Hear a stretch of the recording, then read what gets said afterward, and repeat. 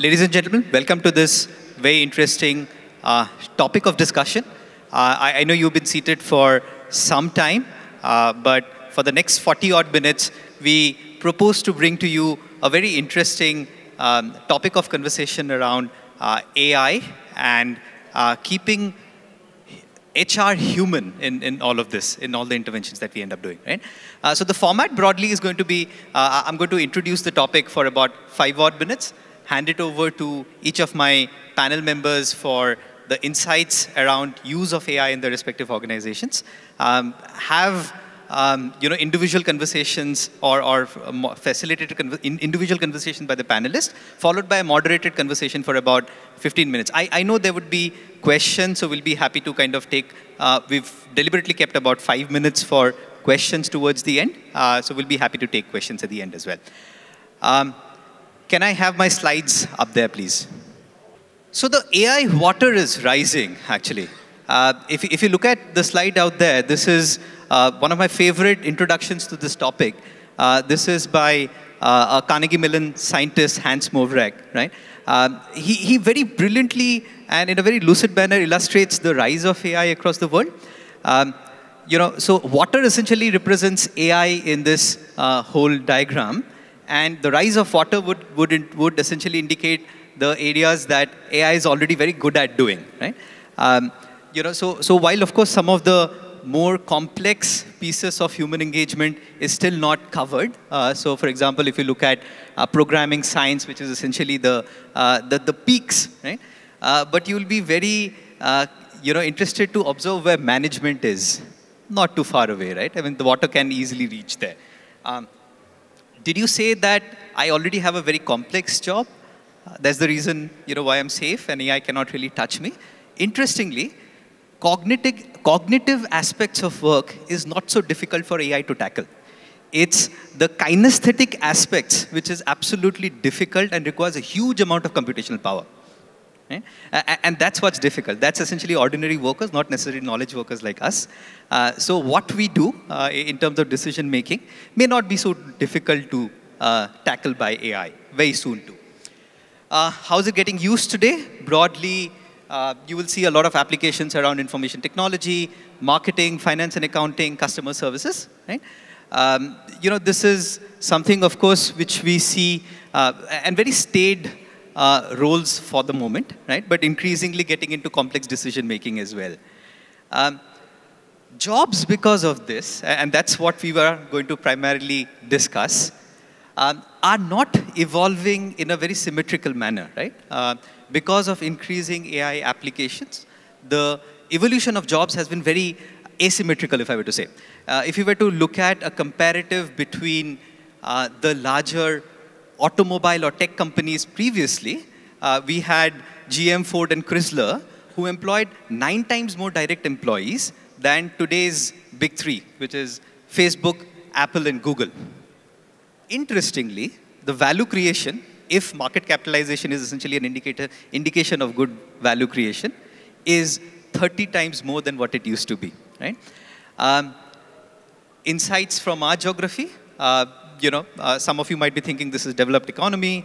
Uh, we are far away from all of this. Interestingly, robotic adaptation in developing economies is much faster than uh, in developed economies of the world, right?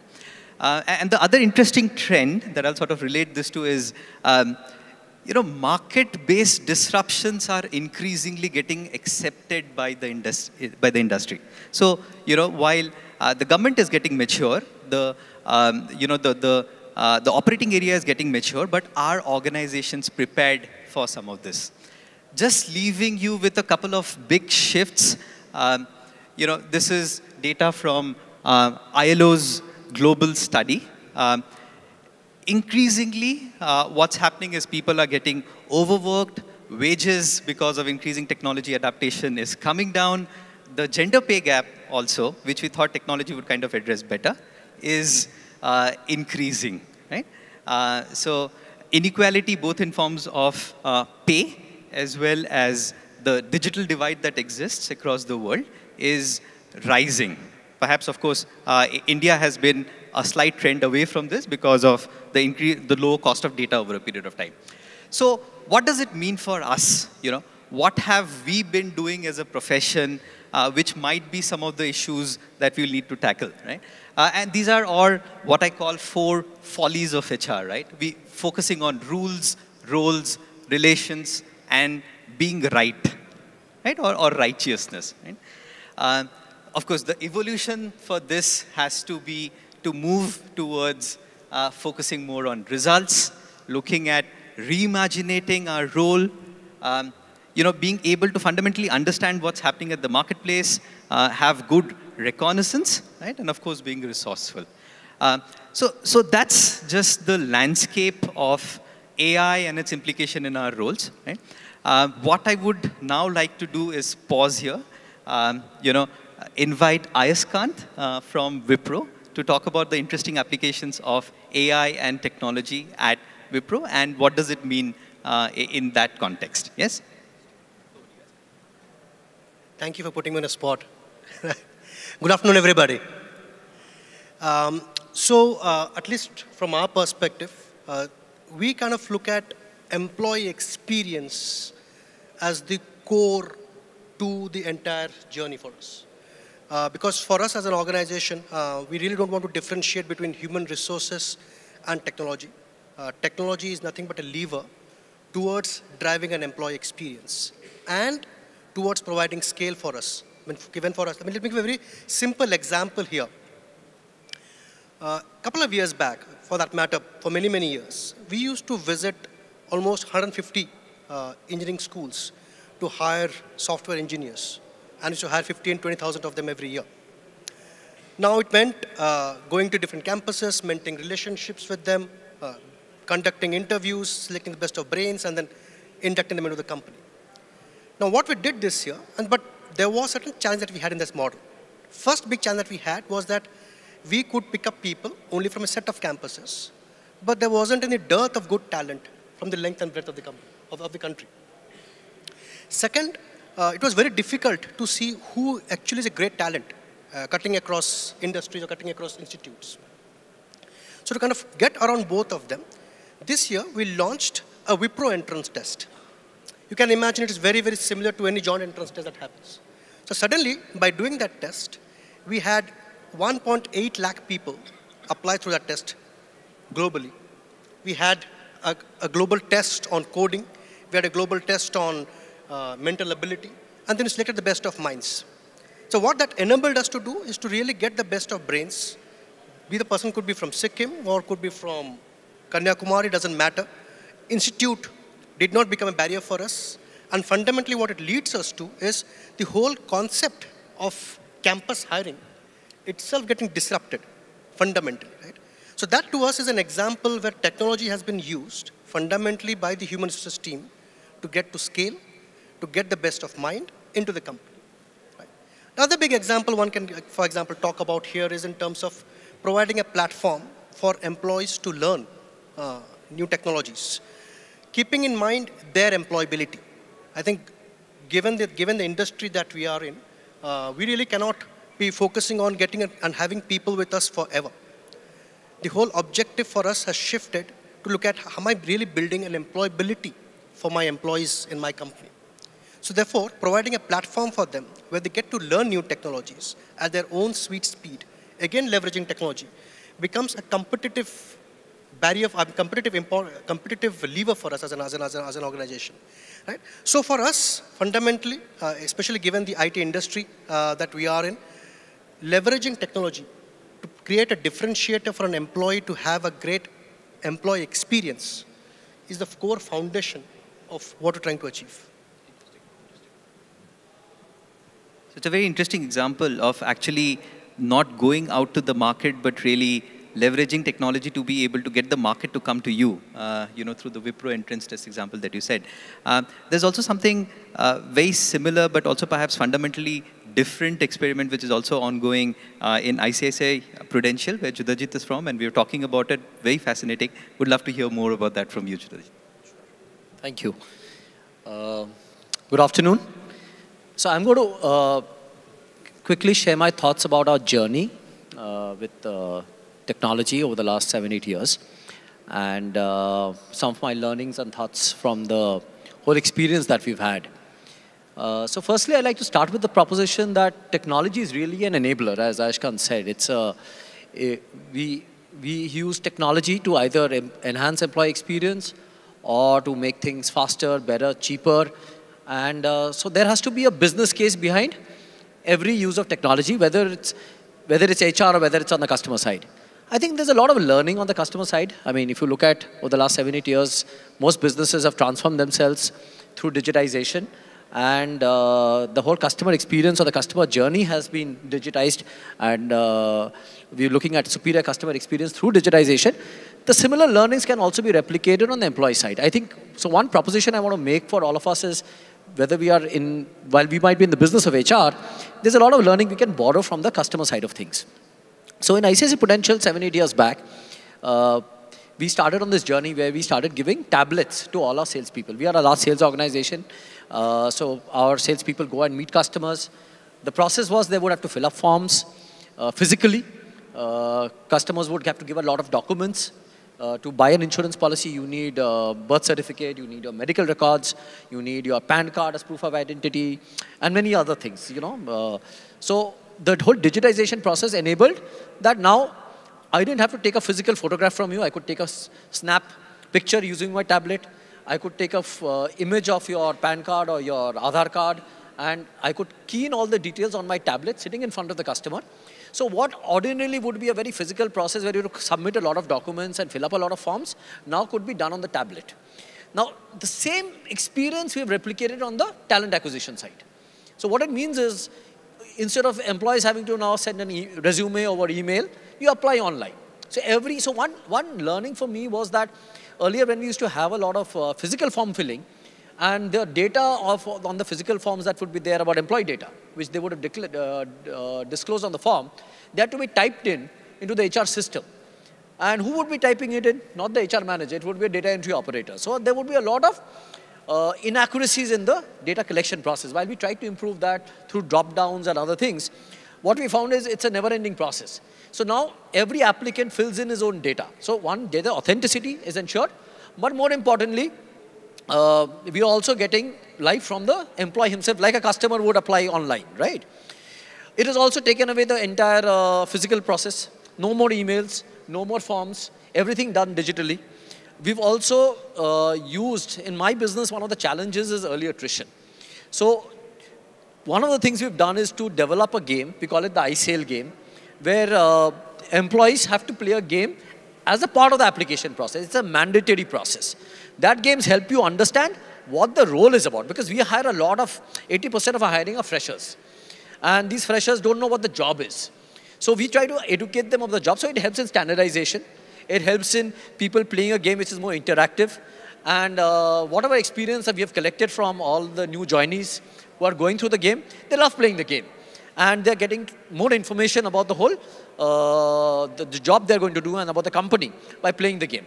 So the whole digitization of this process and linked to, and once you apply online, all your data is online, so I can now track from the time a person has applied to the person gets an offer. So the funnel, uh, typically that you need to see how many people actually applied, how many people played the game, how many people actually then filled up the uh, application form, how many people actually came for the interview. All of this is now managed through the digital process.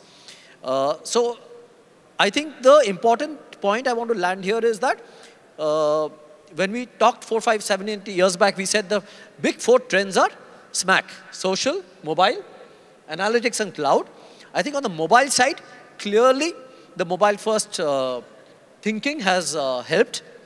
And if you look at across all companies, whether on the customer side or on the employee side, uh, a mobile-first approach is helping us to ensure that we are providing a better employee experience to the whole talent uh, acquisition process. Going forward, uh, this same thing can be replicated on the learning side as well. Here, however, we were just discussing over a cup of coffee that learn, getting people to learn on their own is still a journey. Uh, we have not had so much of great experience where people are but uh, one thing definitely I find, uh, we have mobile-based learning, where uh, chunk size or bite-size learning, as we call it, in small doses, uh, there is more offtake for that kind of learning rather than big courses. So clearly that's something that we have also experienced on the And how much time do I have? Uh, minutes? Okay. So going now, stepping a bit forward, I think uh, the two things I want to share, which I think are still early days yet, but where uh, I'm very hopeful. Uh, there is a company called inFeedo, which we tied up with recently uh, uh, for chat-based employee surveys. That's an interesting insight. Uh, I, I thought because normally surveys used to be done where people were given 50, 60 questions and you would rate, you would give your response on these questions. Uh, now what happens is uh, the question comes, you respond, you say whether it's neutral, it's on a scale of 1 to 5, 3 is neutral. If you score 2 or 1, which means that you are not happy with the experience that you're getting and the company, then the chatbot asks you a question. Say, okay, why are you saying what you're saying? So it's a second level. One of the challenges of any surveys is, was that we would get a data or a score, but we wouldn't know why people are saying what they're saying. So what we had to do was to go and collect the data, find out the low score areas, then go back to employees, do a focus group discussion, or do open house, and try to get some qualitative insight as to why people are scoring the way they're scoring. Now what this, the chatbot does is to get you a second level and a third level insight, to be able to quickly uh, peel the onion a bit more, if, if I were to use that word, and get you the next level insight for you to quickly take an intervention. Rather than waiting for a massive process, because in a large organization and we have 15,000 employees spread across 500 locations, to collect insight from all over is a very tedious process, apart from the expense and everything else. Here you are able to quickly gather a lot more information. So I find uh, this chat feature, which can enable and we can talk more at length if you have any questions. I'm quickly touching, skimming on the key issues. Uh, we found it very useful in getting second level, third level data on why people are saying what they're saying. Similarly, on the employee acquisition side or talent acquisition side, we've been trying another with another company, the uh, Talocity it's called, where we're trying to see microfacial learning to see if it can be used for predictive hiring. It's very early days yet, so I'm not in a position to say that it's working or not working. But clearly one thing that has happened is the video-based interviewing process. I think the days where uh, everything was physical is now being replicated by everything being digital. And uh, while one view of technology is that, is technology going to replace jobs? Is technology going to, uh, I mean, do we have a very dystopian view of technology that human beings will no longer require? I think that's not the case. If you looked at uh, uh the slide that was shown, there are many things. For example, how do you do a retention conversation? I can't see any AI chatbot or anybody replacing that or influence somebody to make a purchase decision, right? They can be triggers. But at the end of the day, those triggers, so as I see it, like in big retail, we talked about phygital today. There was a time when we said that physical stores will go away. People will buy everything digital. Now, we talk about phygital, right? Physical and digital will coexist. It's like at home you have a landline and you have also a mobile phone. You read newspapers, you also consume news through social media, you're also consuming news through apps. So as I see it, augmentation of our ability to do our job better will definitely be enhanced significantly through technology. And this debate of high tech and high touch has been there for the last 30 years, uh, especially on service companies. When, if I go back 30 years in the early 90s, when a lot of technology was coming in, computers were coming in to replace human intervention in customer service, a lot of talk was given, like ATMs came about, people said, oh, what's going to happen to banking? People will now no longer deal with uh, the clerk. We said, no, who will like to stand? But there are people who like to go to the bank branch and still buy. Branches have not disappeared. But more and more transactions have happened through on, uh, ATMs. Like more and more transactions are now happening through mobile banking. But that doesn't mean physical branches have disappeared and people go to the branches. There will be certain occasions when people, so as I see it, uh, to say that the HR manager will be replaced and everything will be done by chatbots is too far-fetched a reality. I think uh, so the best example I want to leave here and before I end is, uh, in this whole game, uh, if you read Kasparov's book, when he was playing computer, I mean chess on the computer with DeepMind, uh, the technology that IBM had developed, uh, clearly one thing that has come through is that a computer against a computer is a different game. A computer will always be, defeat a human being uh, in a chess game. However, a human being with a computer always beats the computer. So we should look at technology again as a tool or an enabler to augment our ability to deliver a superior experience or do things faster, better, cheaper. And to me, that is the largest uh, takeaway I think we should learn from. There's nothing to fear and we should leverage. We have to keep experimenting. We have to keep piloting.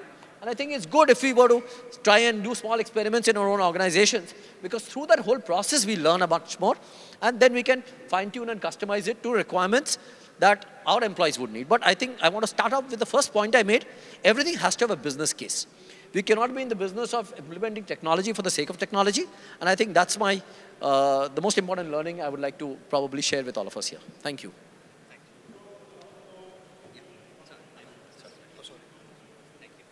Uh, so brilliantly put perspective. Thank you so very much for sharing. Um, I think one of the most crucial elements where technology tends to come in in organizations for each employee is essentially the whole assessment process. Uh, and up till now, of course, how assessments has, have been run have been through a purely physical conversation with people, but increasingly we know through different applications, it's, it's, uh, th there's increasing automation out there. Um, so here's where I would invite Anjul to share his perspective from Think Talent. Uh, they've been doing some interesting applications basis uh, using AI and technology in the assessment process. Anjul, over to you. Thanks, and uh, good afternoon, everyone. Uh, so I have a slightly different perspective on this whole thing because, you know, as a consultant, you get a, you know, an outside-in view of the entire process, you know. So, uh, so you know what Nishit was mentioning was the automation of the assessment process. See, automation I think is only the first level of change which is happening. You know, so I think if you look at you know processes like payroll, leave, attendance, you know, and now gradually talent management processes like assessment and uh, learning. You know, there is a significant automation already happening. You know, and I think uh, that. But in my mind, that is the first wave of change. You know, I think the question uh, is where is it going? I think uh, the question as HR people we need to ask is who is now finally making decisions about uh, talent, you know, or about employees, you know, and that decision making, uh, you know, while, uh, you know, there are two ways to look at it. One is that uh, technology is now making decisions, you know, rather than HR teams making decisions. You know, that's one perspective I keep hearing you know, and, you know, for example, assessments, you know, is one example where people say that, you know, why do you need HR people? Because, you know, you know, I have this panel of assessments and, you know, I can just use the data to uh, make decisions. So I don't really need a HR person to support that process.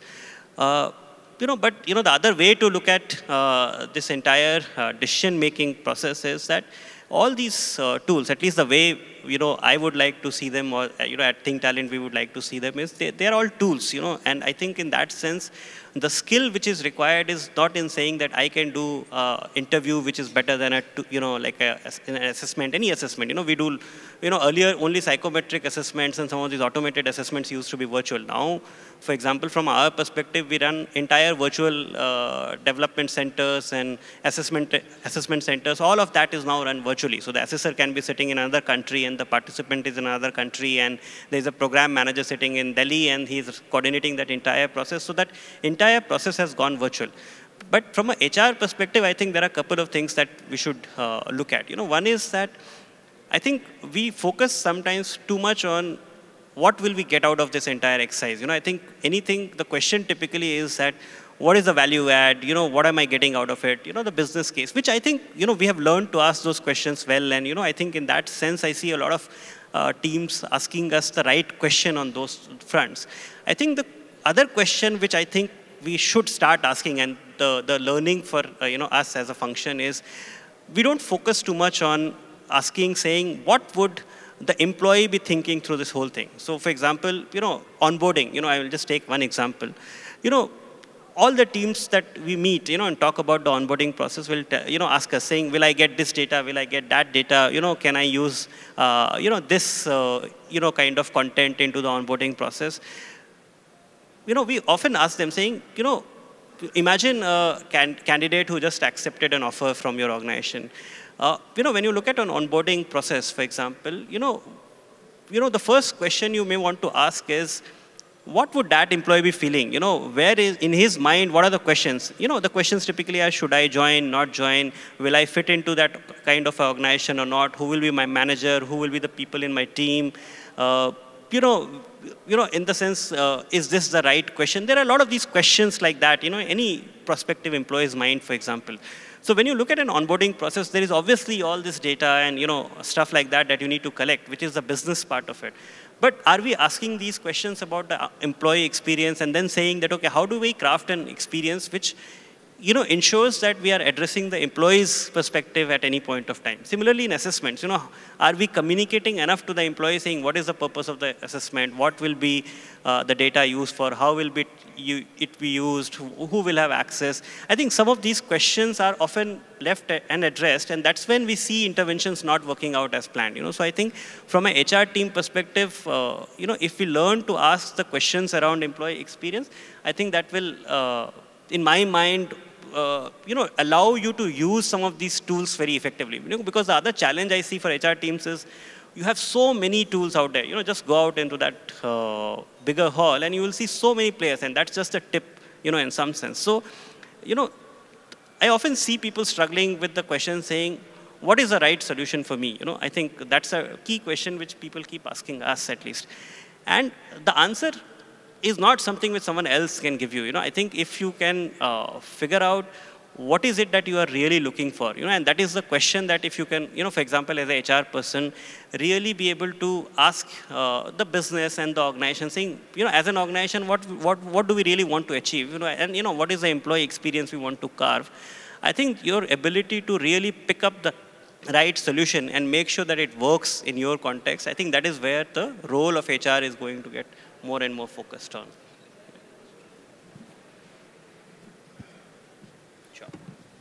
Interestingly, one of the things which is coming out very clearly is, is, is, is the focus on employee experience. I think, um, you know, the three panel members here actually did touch upon uh, changing the employee experience basis technology. Now, uh, I fundamentally believe that work is essentially the exercise of judgment. Right? Managerial work is nothing but the exercise of judgment. And technology is fundamentally changing um, areas of judgment for HR professionals in particular. Right? Um, given this understanding, in our respective organizations, and as maybe I'll start with you, uh, how do you see the role of HR changing? You know, what, what might be some of those areas where we need to make judgment fundamentally differently from what we were doing earlier? I think, uh, great question. Um, couple of areas that I can think of, right? One is uh, because of technology, making our lives easier, at least the common concern that people used to give us, right? That HR is too slow in terms of response time. Uh, that's kind of kind of going definitely going to out of the go out of the way because of advent of technology.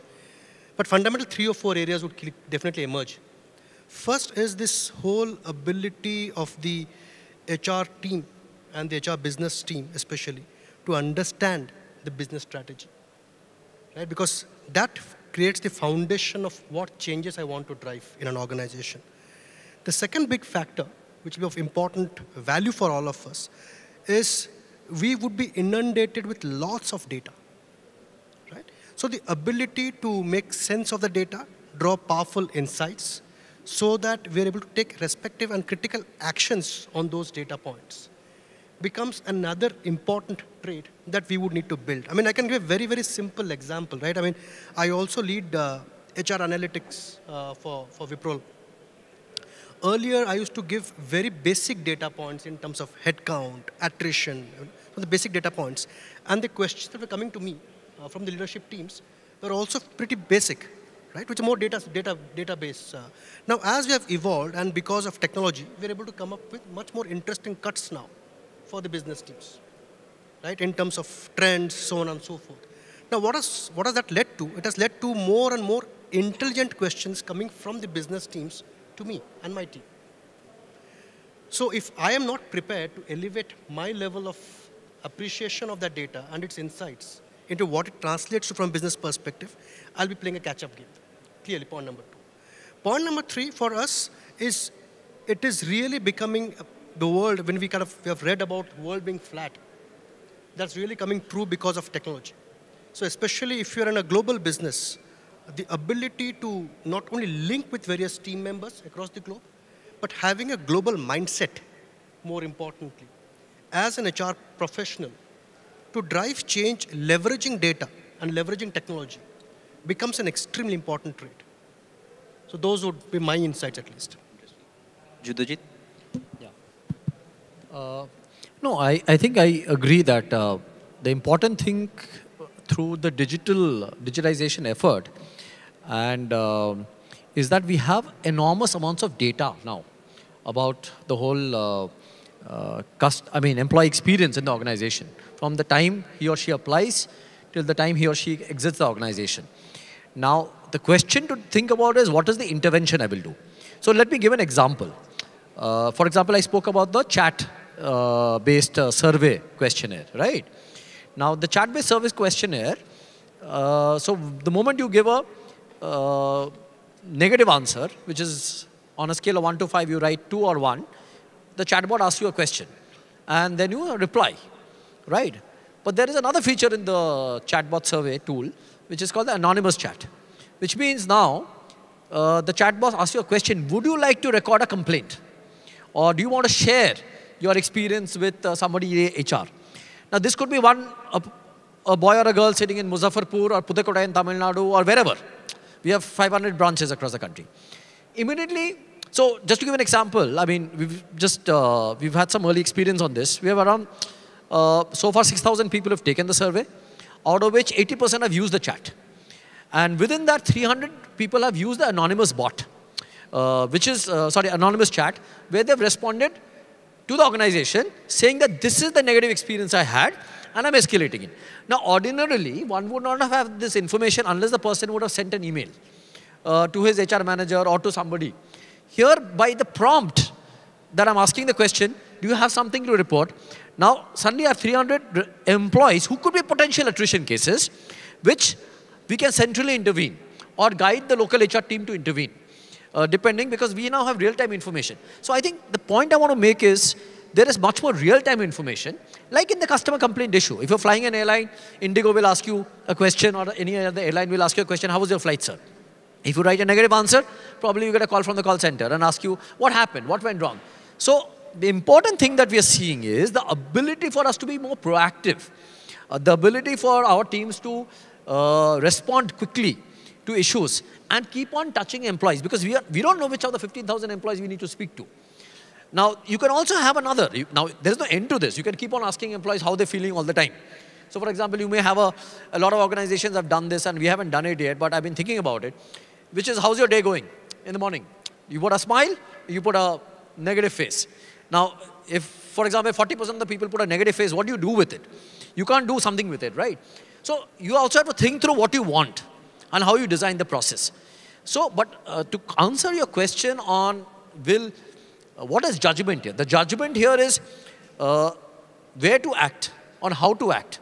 So, for example, if I have data on somebody, for example, who's gone to my internet site and uh, is uh, put something, uh, has, a has a question, I can now create a real-time learning environment for people because on the, on the social internet, if I ask a question, which maybe somebody else can answer, I, I don't have to technically depend on my manager to answer the query for me. I can have anybody from the organization. So what's like social media has created democratization of information. Learning can also get democratized in organizations. I'm giving two examples. One on the learning side, how learning can be shared by anybody and everybody through a collaboration tool or a platform, or similarly like in the chatbot case, which I'm talking about, where it allows you to intervene proactively and promptly, thus enabling your ability to respond quicker to deal with employee issues or uh, uh, challenges employee, employees probably are going through in their workplace. Interesting. Yeah. Okay. So, uh, you know, obviously, uh, understanding and being able to act on data, I think what Ayash and uh, Judhajit were mentioning, I think those are important. The other aspect of it, which, you know, I see often is, so, you know, this democratization of information, you know, one aspect of it is the more and more digital platforms you have, the more information is also flowing to the employee and the manager, you know, sometimes without going through the HR team, you know, because the system triggers a dashboard which goes directly to the employee or to the manager. So, you know, the other aspect of it which, you know, HR teams uh, need to kind of start uh, looking at is how do you train your managers and employees to you know, to understand and act on this information, you know, because sometimes they see all this information, but they don't know what to do. For example, you know, we used to do employee engagement surveys, you know, there will be like an organizational dashboard. Today, there are team level dashboards. So each manager has a, a dashboard for the team what do I do with it, you know, as a manager is something which I need help on, you know. So how do you create, uh, you know, for example, uh, interventions where you train line managers and employees to understand uh, this information is one part of it. The other part of it is to keep it simple, you know. I think sometimes as a function we tend to overcomplicate uh, stuff and then it becomes difficult to implement because, you know, at the ground people don't really understand what we are trying to do. I think being able to keep it simple and being able to communicate it simply, I think is the other part, you know, so that, you know, you are able to drive action through your, uh, you know, line managers and business rather than trying to take action only by yourself, you know, because bandwidths are going down and there are just too many things to do. So I think that's the other part of it which I often see. Sure, thank you. So fundamentally, one of the shifts which is happening because uh, of the use of technology is that uh, the decision, the space for decision making for HR to elevate its decision, right, and engage with more complex issues rather than get caught up with the more mundane stuff. Um, and at the same point in time, through the different experiences that we've that we've heard here, you know, to engage with uh, the, the, real issues that might matter to my employee groups, either my frontline employees or my set of managers or my frontline hires that's that's coming in. Uh, the opportunity to leverage technology there and make a difference has kind of gone up. Um, you know, like I think with almost all decisions, do we choose to look at that as being a problem or do we really see that as being an opportunity in front of us um, to, as Judhajit said, you know, it, it's all in the right direction. Do we jump in? Do we try, experiment, and build on that is, is what's going to decide the role that we play moving ahead. Right? Um, you know, as promised, I will pause here with about five odd minutes left for taking questions uh, from the audience and I'd want to make it as interactive as possible. So if any one of you would want to sort of uh, pitch in with a question, happy to take that up. Yeah, hi, uh, good afternoon to you. Um, I'm Ashutosh. Ashutosh. Uh, so my question is very specific that, uh, as panelists have rightly brought out that uh, technology, but the larger impression of it was from the top management or middle management perspective. When we talk of India growing into a manufacturing hub in another 10 years, how do you see technology and its impact translating to the larger bottom of the pyramid? And how do you see we would be able to manage it with, as you've correctly said, that a managerial work is, uh, you know, just more to delegate and just inference out of the work of uh, the team. So how do you see that technology taking a deep dive into the bottom of the pyramid till the last man with the, the kind of tools and the accessibility to this technology available in India? And how, what kind of challenges do you foresee in terms of this technology taking not a positive side of it, but it's probably not so positive impacts. Uh, Anjul, would you want to take that up with your consulting experience? Go ahead. So, uh, obviously, very complex question, you know, in the sense you can't really predict everything, but I think there are two, three trends that you will be able to see even today, you know. So one is, you know, when you talk about uh, the bottom half of the organization, earlier, you know, there used to be this whole thing that, you know, there are blue collar workers and, you know, typically there is uh, limited education level and all that stuff, you know, so the, your decision making around that group was based on these assumptions, you know. Today, when we work with companies, especially, you know, industries like retail, even manufacturing, you know, we see that assumption not being valid anymore. You know, you see people who are very hands-on with their smartphones and even a factory worker in Manesar in Gurgaon, you know, you see all of them have smartphones and all of that stuff, okay? So, you know, you have to also then revisit your assumptions about what their needs are as employees, you know. So, for example, you know, we used to communicate through circulars and printed posters and things like that you know, today, for example, we see organizations experimenting with uh, apps for, you know, you know, the entire employee base rather than only talking about your corporate uh, employee base and saying that how can I communicate with my workers on a real-time basis. So, for example, if you're a retail company, you know, traditionally you have looked at your uh, talent pool as being your corporate 400, 500 employees and not really focusing on the 6,000, 7,000 people you have in the stores and in the field.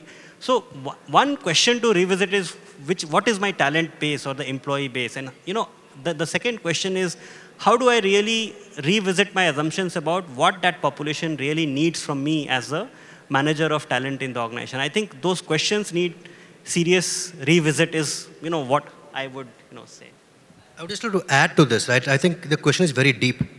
And in my opinion, uh, we need some fundamental shifts in the education system itself in India. Right? And the quality of talent is kind of coming up the ranks.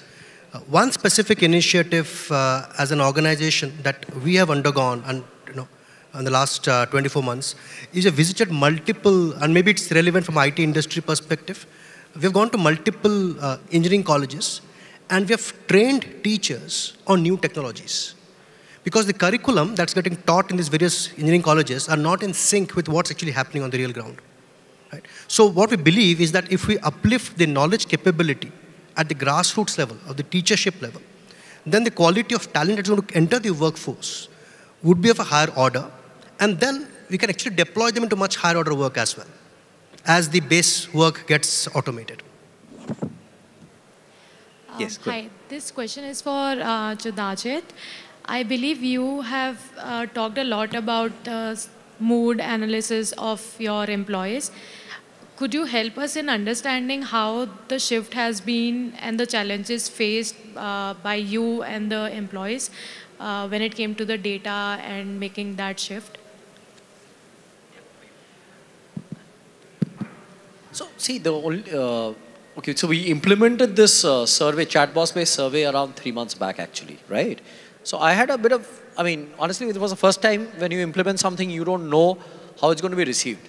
But like I think uh, my other uh, speaker, co-speakers have said that, you know, if it's simple, it's easy to use, then pickup is faster. So usage. Uh, so I think the point to always keep in mind is uh, is whatever that we are developing for enhancing employee experience, uh, if it's where the customer lens and say, is it intuitive? Is it easy to use? Is it simple? Is it something, because nobody likes anything complicated, right? So if you're over designing a process or a system, it'll not work. So the trick in all this is to create simple, easy to use systems. I am pleasantly surprised, like I said, out of 6,000 people, 80% have used the chat feature, right? Uh, so not everybody has. We, I don't have the data now to say the 20% who haven't, are they high performers or poor performers, or are they more engaged or more disengaged? We haven't looked at the data, but that's an area of investigation. Because one hypothesis could be that people who use the chat are more engaged. At least they're honoring you with giving you feedback, right?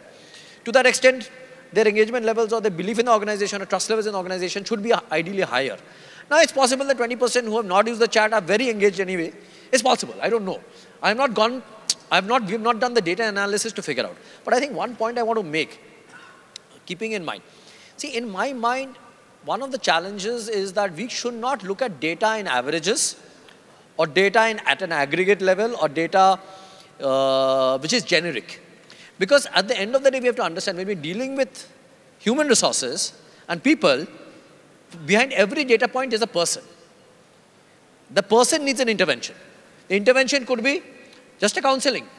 Intervention could be a training. Intervention could be maybe reassigned to another role. All I'm saying is that 20,000 things you can do in terms of an intervention for a particular employee. So my only uh, learning from all this is one of the challenges that we have in HR is we are looking at data in percentiles, in averages, means, at a gross level. That absolutely is not actionable. We have to look at outliers. And if you start looking at outliers, like disaffected customers, disengaged employee. Now it's again not looking at, okay, 20% of my employees are disengaged. That, what do you do with it? You have to find out who is the disengaged employee, and then go talk to the disengaged employee, or do an intervention there with the disengaged employee, or in a particular city, or in a channel, or a location. So my, I think the larger point I want to make about using the data on anything is, it has to be specific to a person, because behind every data point is a person. And we are, if you're acting on the person, then HR is marrying technology very effectively to design actions, actionable insight, which can improve either your productivity or whatever else you, engagement or whatever else you want to, as an outcome, drive in the organization context. Thank you. And I think that's, that's, a, that's a good place to kind of sum because um, technology has enabled us to go beyond that data point and double click on it and see and in a closer way look at who the employee is behind that. Uh, now it's up to us to really uh, take that effort to put in those double clicks. Uh, with that, thank you very much, uh, Judhajit, um, um, Anjul. It was a fantastic conversation. Thank you. Thank you, ladies and gentlemen.